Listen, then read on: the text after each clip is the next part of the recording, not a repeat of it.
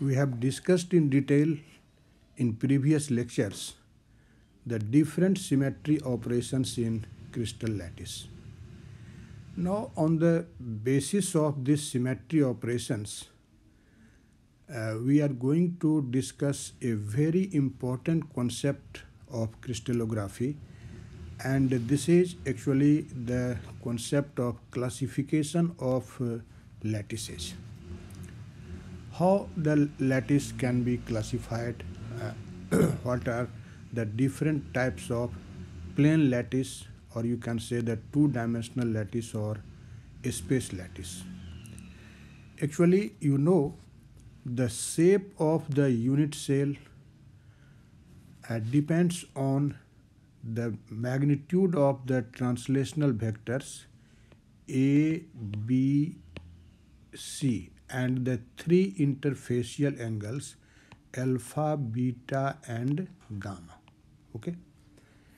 And you also know since there is no natural restriction on the length of these uh, translational unit uh, translational vectors ABC of the lattice and also there is no natural restriction on the values of the interfacial angles alpha, beta and gamma. So it is obvious that there will be unlimited number of lattices possible. So we must therefore impose restrictive conditions on the translational vectors ABC and uh, After this restriction, we can construct lattice that will remain invariant under one or more symmetry operations. Okay. With uh, such restrictions, we can get distinct lattice types by positioning lattice point in a space so as to get the identical surroundings. Okay. In fact, in 8 1848, a well-known Russian mathematician named A. Bravais showed that because of the point symmetry of crystal lattices, when you say point symmetry, that means the symmetry of crystal associated with rotations, reflections and inversions or combination of these. We can construct 14 types of lattices in 3D space okay? And in a similar manner we can also construct five different types of lattices in two-dimensional space. Actually this technique was provided by Bravais so commonly these distinct lattices are known as Bravais lattices okay? So in nutshell you can say that by the point symmetry operations like rotation inversion and reflection Bravais classified the lattice in basically in uh, basically in two classes. In first class we talk about the plane lattice that is lattice in two dimensional space and in second class we talk about the three-dimensional lattices that is lattice in 3D space. And in case of the lattice in a plane, there will be five different types of lattice and in case of a space lattice, there will be 14 different types of lattices. And all these lattices are called Bravais lattices. Okay. In this lecture, our aim is only to discuss the Bravais lattices in two dimensions. Okay. In fact, uh, you know, uh, in case of two-dimensional lattices, only the three parameters are required to characterize the two-dimensional lattices. And those parameters are A, B, and the angle phi between A and B. These are the three parameters and depending upon the values of these a, B and phi, Bravais found that there will be five types of plane lattices. And those five types of plane lattices are known as oblique lattice primitive rectangular lattice centered rectangular lattice square lattice and hexagonal lattice. Okay?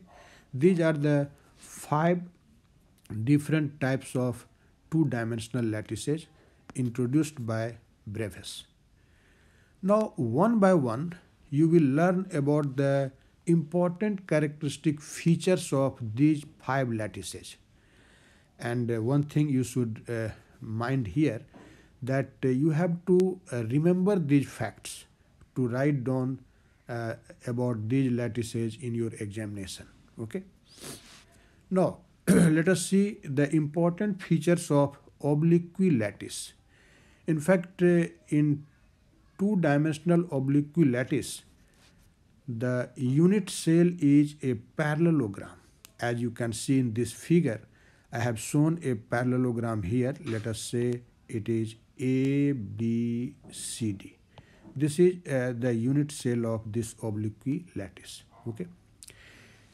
Actually, in most of uh, the general kind of two-dimensional lattice are of oblique lattice okay and this lattice is specified by the characteristic feature like this in this case the magnitude of the translational vectors a and b are not equal and this angle phi is not equal to 90 degree okay so you can see I have written here that mod of A is not equal to mod of B and phi is not equal to 90 degree.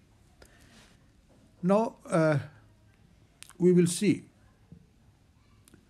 what are the associated symmetry in this case. Actually the symmetries associated with such a lattice are inversion symmetry and uh, two-fold rotation axis. Okay. So and symbolically we write uh, for inversion symmetry we write uh, 1 and uh, uh, for two-fold rotation axis we write 2m okay so symbolically we write the associated symmetry with oblique lattice as 1 comma 2m okay? So these are the important features of oblique lattice. Okay? Now the another two-dimensional Bravais lattice is primitive rectangular lattice.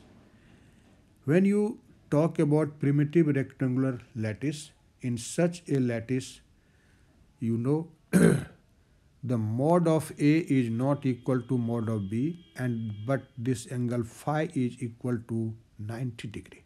Okay. And uh, unit cell in this case is a rectangle as you can see in this figure and the side lengths of the, this rectangle is not equal as mod of A is not equal to mod of B because these two translation vector represents the two sides of this uh, unit cell okay but uh, angle phi is equal to 90 degree okay. in this case there exists two fold rotation axis and two perpendicular set of mirror lines and symbolically it is denoted by 2m and 2mm okay so this is the these are the important features of primitive rectangular uh, lattice as you can see in this case the lattice points lie only at the corner so it is called primitive rectangular lattice okay there is no lattice point inside this uh, rectangle Okay. now, the third Bravais lattice in a plane is called rectangular centered lattice. Rectangular centered lattice. Actually, this lattice is specified by mod of A is not equal to mod of B and this angle phi you can see is equal to cos inverse A over 2B. Okay in fact, uh, when you talk about the primitive unit cell in this case of uh, lattice, the primitive unit cell is a oblique parallelogram uh, which I have marked here. Let us say A B C D. This is the primitive unit cell and this is uh, just like a, an oblique parallelogram but when you talk about the non-primitive unit cell that will be a centered rectangle which I have uh, which I am marking here this is A, B, E, F. You can see this is a rectangle and at its center this lattice point lying at point D is at the uh, inside this uh, rectangle. Okay. So in this case the angular parameter this gamma I have shown in figure is equal to 90 degree. So when you talk about the non-primitive cell which that will be a, a rectangle and in uh, for, for this again mod of A is not equal to mod of B but angle gamma will be equal to 90 degree. Now in this case uh, the symmetry associated with this lattice are two-fold rotation axis and two perpendicular set of mirror lines. And so uh, symbolically it is denoted by 2m comma 2mm all these things you have to remember okay? Now the fourth one is a square lattice. As the name says in this case the primitive unit cell will be a square and its characteristic features are what this is mod of A equal to mod of B and angle phi is equal to 90 degree. And if you will talk about the symmetry in this case, actually this lattice has four-fold rotation axis and two perpendicular sets of mirror lines. So it is denoted in symbol by 4m comma 2mm. Okay. So these are the important features of a square lattice. Okay. Now finally, the fifth Bravais lattice in a plane is called hexagonal lattice. In fact, in case of hexagonal lattice, the primitive unit cell of this lattice is a rhombus. As you can see in this figure, this unit cell is a rhombus and it is characterized by mod of A equal to mod of B and phi is equal to 120 degree. This is the feature of this hexagonal lattice. Okay.